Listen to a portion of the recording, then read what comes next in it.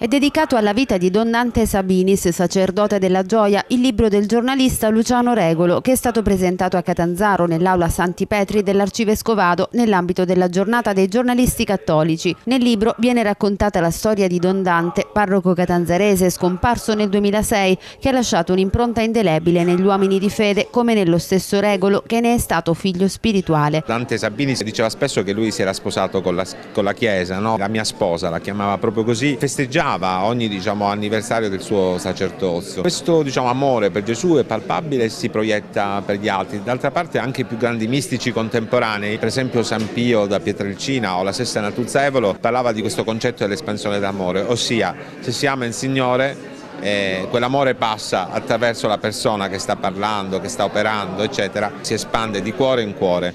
Quindi immaginiamoci come questo sia importante per un sacerdote. Io credo che la strada del sacerdozio dovrebbe essere unicamente frutto di questo amore e credo che Papa Francesco abbia contribuito moltissimo a richiamare no, questo essere sacerdote in quest'ottica e non in altre logiche. Spesso è intervenuto per dire eh, di essere più semplici, di essere più umili, di non diciamo, anteporre interessi di gruppi o personali alla, diciamo, alla carità o all'amore cristiano. No? Rossella Galati per la CNews 24.